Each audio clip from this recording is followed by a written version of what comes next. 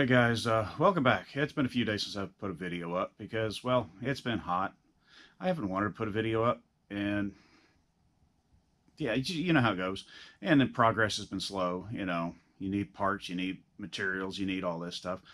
Well, I did start a video a while back, so I'm either going to use some of that original footage I made or whatever, but this is all going to be about media blasting at home and how I do it, what tools I use.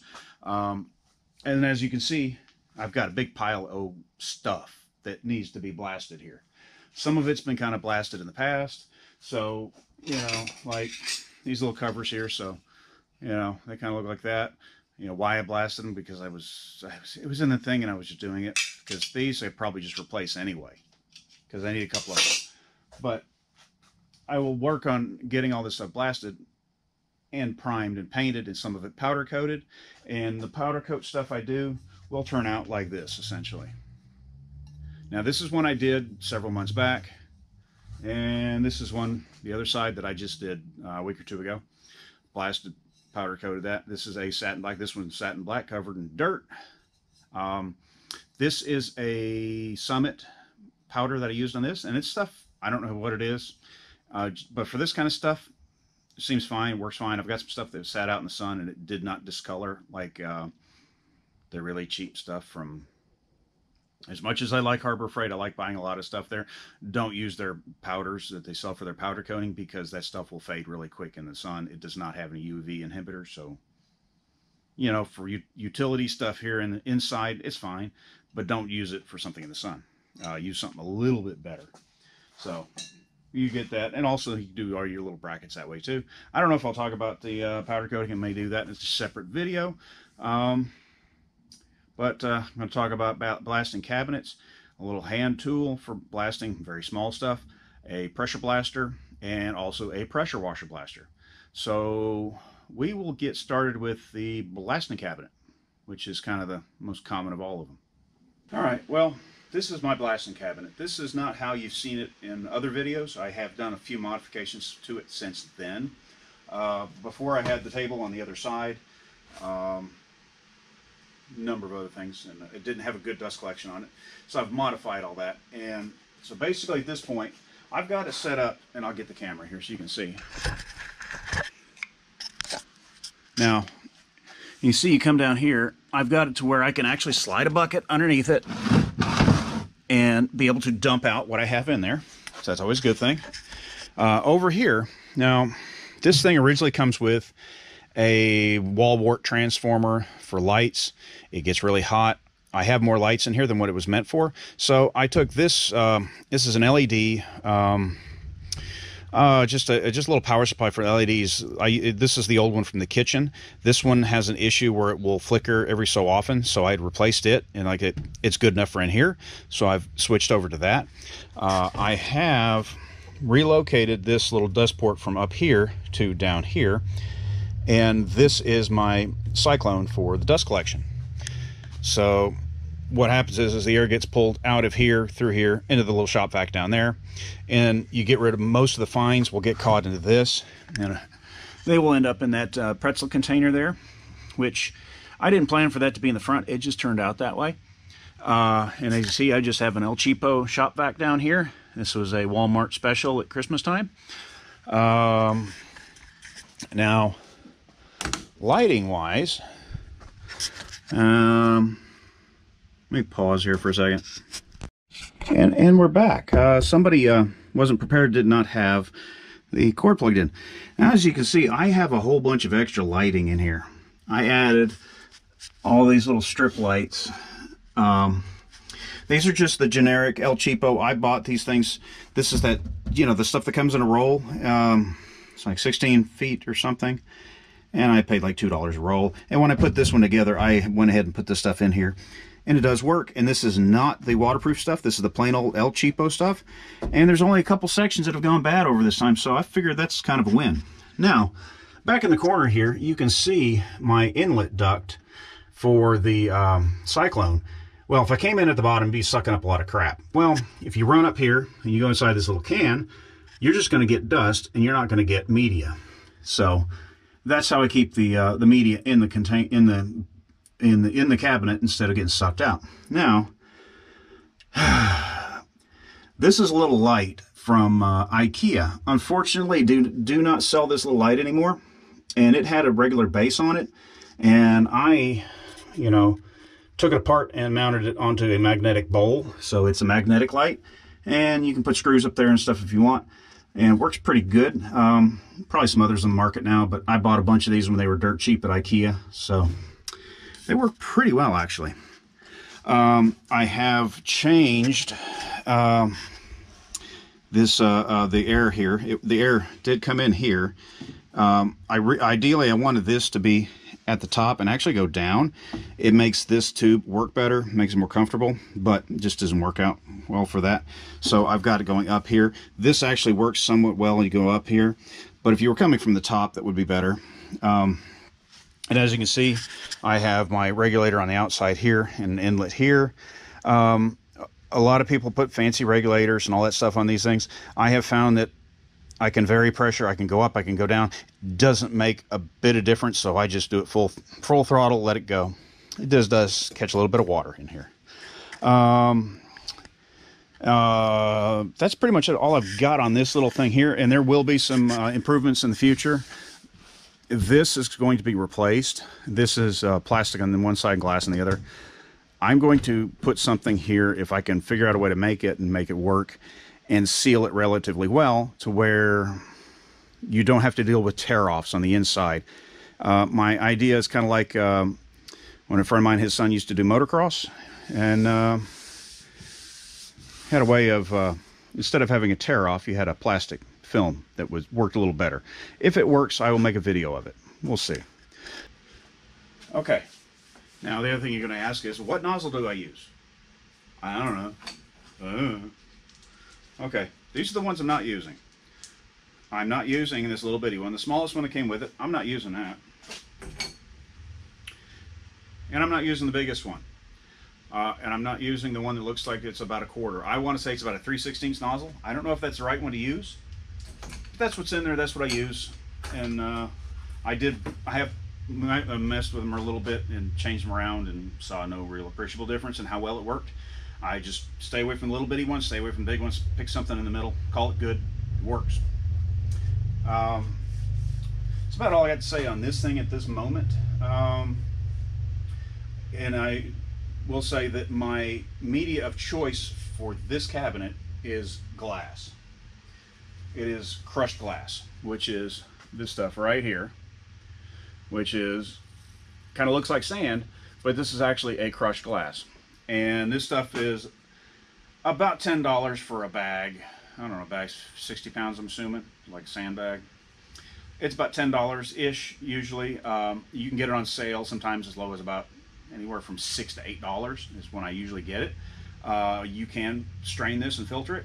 I'll talk about that later when it comes to the pressure, uh, the pressure blaster. There, you can also use if you want in any of these things is you can use a coal slag, which is this stuff here, which is a black, um, very gritty stuff. This stuff works pretty good. Um, crushed glass, a little bit uh, smoother. It's, it's a little more gentle. It's not quite as aggressive. It will form a lot of fine dust. And that's why I have the, cycle, the cleaner on this with the little cyclone to get all the fine dust out. Works really well and the lighter color of the dust in here makes it easier to see while you're blasting. If you use this this coal slag, this black stuff in here, even with a lot of light, it's it's a dark, it's a pit. Um, it's just not enjoyable to do. It does cut faster. This will cut faster, much much faster than the glass. But it, it's just like I said, it just it's hard to see in there. The other issue I have with using the coal slag is that if you are doing cast iron, do not use this. This stuff has a tendency to tunnel in to the cast iron. It will make it just look like a bunch of worms decided to, you know, dig a bunch of holes into cast iron. It just it is too aggressive for cast iron. The coal, the the glass, the crushed glass, on the other hand, works really well. It does not tunnel in like this uh, coal slag will. There are other abrasives to use. Uh, I've used. Um, uh, glass bead. A glass bead for if you're doing aluminum, you know, you're just doing really gentle aluminum parts. It works really well in here. Um, it's really slow. I'm not a fan of it. I mean, but if you have an application where a glass bead is what you want to use, use it. But just beware, it is excruciatingly slow unless you have massive amounts of air and higher high air pressure. Um, there are, uh, you start looking up, there's a number of different things. The other, uh, Garnet is the other very popular abrasive to use. It's great stuff. It's hard. It is somewhat reusable. It's just not the easiest thing for me to get because I don't know of a supplier here to get it from. Uh, if I had a supplier, I would probably use it. I would probably use that over the, the glass, in, in fact. But I just don't have a supplier that I know of. There's got to be somebody. I just haven't. When you look up, I can't find anybody. I, I can't find anybody that supplies this stuff. So, without driving to the other side of the Metroplex, and I'm not doing that. So, stick with the glass. It works. Uh, but the garnet, if you can get it, give it a try. It might work pretty well for what you want. Okay, uh, I'm going to hunch over a little bit here. So now for pressure blasting. Uh, this is about the third one of these that I've had over the years. Uh, they're not bad. It is the messiest. It is the most air consumptive type of blasting generally. Um, there's a lot of bad things about it. However, it is very flexible and it is very fast. Uh, they do. You have issues with them plugging up if you decide to recycle your media. Not always a good idea. I do it. I have a tool that I made to do it. I will um, put something. Uh, you know, I'll uh, put it here so you can see it.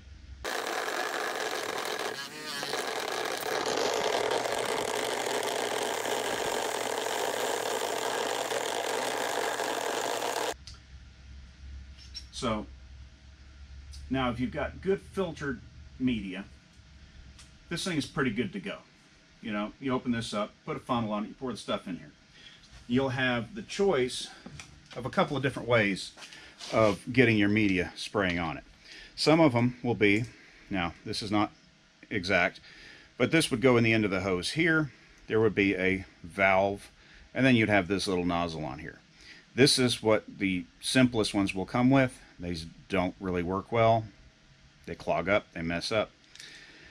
The next step up from that is when you get into these little guys here. Let me put these down. When you get into these here, these are dead man valves. This one's not a dead man valve anymore. I got tired of that. Uh, this is one I actually picked up at a estate sale as a spare for it was 250 so why not this one uses the same nozzle as the uh, standard one now the trick to know on these is that when you work on these nozzles, you'll have an issue with it. You'll take it apart and you'll say, oh, wow, yeah, see that here? Well, there is a seal that goes in here. And I'll go over to this one here, which it has it here. I got confused. Okay, that is a faucet washer. If you don't know what a, what a faucet washer is, you know, ask your parents. They probably know. But that's all, all that is. It's just a standard faucet washer. Just make sure the hole in it's big enough and you'll put that up against the uh, the nozzle here and this here and that'll seal here and this is a very common tip not a big deal so you'll hook up to the back end over here and you just do that. You just squeeze and it works. This style over here this is the more common style. This is one they this bought this at Harbor Freight years ago. This one had a lever here and a little thing that dropped in front of the nozzle up here. Uh, I took it off because the spring was so stiff. It got to the point where you're holding this thing, and it just got to be so difficult to hold on here. It's it just it would wear out your hands trying to do it. So I took it off, and I don't have that on there. So when I want this thing to turn on, I go turn the valve on, and it works. So that's what I do. And yeah, I know it's chopping my head off. It's all right. You don't need to see that.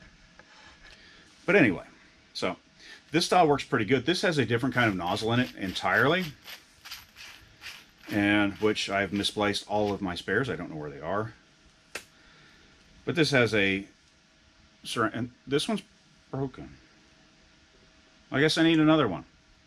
Great. But that's a ceramic nozzle with a little rubber tip. It goes on here. And the reason for that rubber is that dead man valve actually seals on the end of this and, you know, seals on the end of it, shuts it off. Works pretty good. But um, like I said, my my hands are not strong enough to deal with that dead man valve while you're just fighting with it. It's just not any fun. Um, this thing does have it does have a an air filter on it. It does kind of work. These things work. They do their job. They're just not really. They're they're not for everybody. They are, and the other thing is when you use my outside, they are noisy. They are very noisy. So your neighbors are probably not going to like it. So most people, unless you've got big big yard, big area, and you're away from everything, this is just not going to work for you because you're not going to have the air for it. 60 gallon compressor minimum. Um, you're not going to have the air. It's going to make a lot of noise. It's going to make a lot of mess.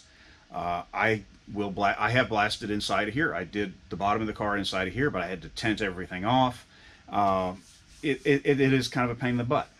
But if you can live with all those issues, it's a good option. It's a really good option. So uh, on to the next one, which is uh, we'll do water blasting next. I like that one. That was more fun. All right, now for water blasting. And for water blasting, you need a pressure washer. You need a big pressure washer. Biggest one you can get. Uh, electric, not going to cut it. You need something that's going to start at, say, minimum of, say, 3,500 psi and, say, two and a half, two, two and a half gallons per minute, bare minimum. Bigger the better. It's just like an air compressor. You can never have too much air and you can never have too much pressurized water. And you will need one of these little guys here. And this is just a, you know, Amazon eBay special. And it is just a nozzle that goes right on the end of your pressure washer standard connection.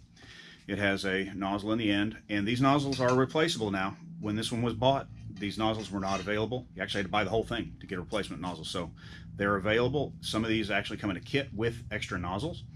They work really well as far as I'm concerned. However, they go through a lot of abrasive. You will use much more abrasive on this than you will on any other method.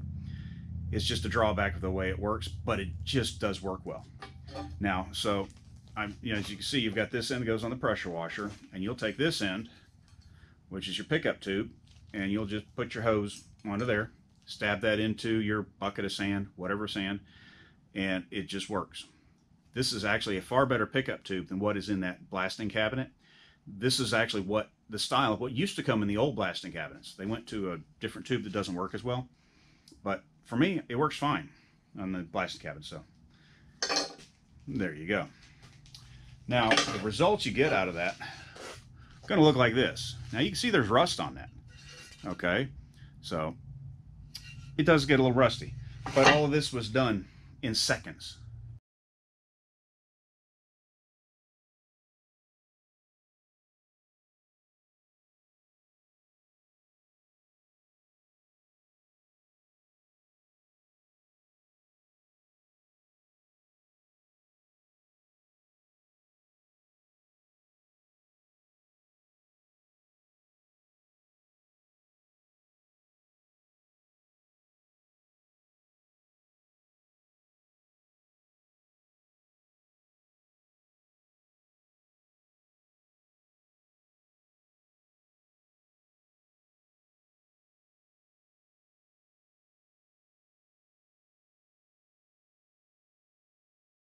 And I mean in seconds. Now, obviously, I wasn't really trying to, I was just playing with it, and I just videotaped it just to play with it. And you can see it works really well. Now, these parts have been sitting for, you know, it's a couple weeks now. It's been a couple weeks since I did that. Now, the problem with water blasting is, is that you're putting water all over it. It's going to rust. Well, you can see that's that's the amount of rust that it got on it from being wet, you know, and it was probably 95 degrees that day, so it was a cool day. And when I did it, I blasted it, you know, took it, shook it off, and let it sit in the sun for a little bit, and then brought it inside and set it here. And this is the way it has looked. Now, there is a product called Hold Tight. It is kind of expensive, and it's hard to get smaller quantities of it. Uh, I think you can get it by the gallon, and it is meant to be sprayed onto your metal after you blast it. And yes, I'm sweating because I have to have the air conditioner off right now because it makes too much noise. And yes, I feel it coming down my face, and I'm I hate summer.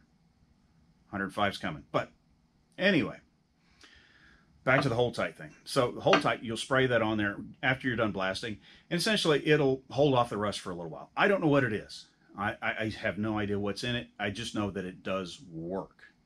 And there are other products that do the same thing that are a little bit cheaper, but I know Hold Tight, it's a good product, it works. It's just not the easiest thing in the world to get. So I would say that, you know, if you've got a pressure washer and you want to do big stuff, and you can deal with the fact of maybe some surface rust, surface rust, and maybe come back and clean off the surface rust. You know, just use this to get the majority of stuff off. Let it dry. You can always come back and sand it again, or you can dry blast it at that point just to take the surface rust off real quick. Because you would your dry blasting would just be very quick and done, whereas the pressure washer did all the heavy work. So that's an option. Uh, for media, I was using glass media, you know, crushed glass again, using stuff that I had recycled several times, so I didn't didn't mind if I lost it. It's not a big deal. Um, but it's a good method. It works well. Uh, just make sure when you order this that you order one that the nozzle is sized to the specifications of your pressure washer because of the flow and the pressure dictates what size nozzle's in this and you can't change that. So you have to buy the one that fits your pressure washer. Um, these things are not expensive. They just work.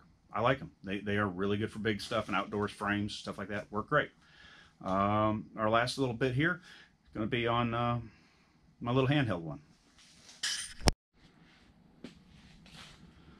All right, as I wipe the sweat off of me, I can't have the. It's too noisy with the air conditioner. Sorry. Um, this is just a generic Central Pneumatic Harbor Freight. I think they discontinued this one. Uh, just a little hand blaster. You fill this up with whatever your media is, and you spray.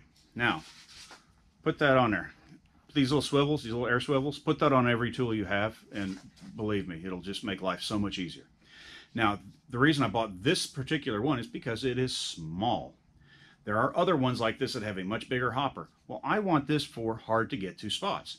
In fact, on the Mustang, there were a number of spots where I could reach down into, and even with the hose, and I could reach down into there and I could blast an area with this. And it works really well. Now, it also works well if like I've got one tiny little spot somewhere that I want to do. Just use this. And a lot of times I'll put a put my uh, leather gloves on, my leather uh, you know stick welding gloves, and I will put this just like this with my hand like that, and I will blast an area just like that. Works just fine. The other trick that I use is that if I'm doing some more of it, I've got a piece of plastic with a hole in it.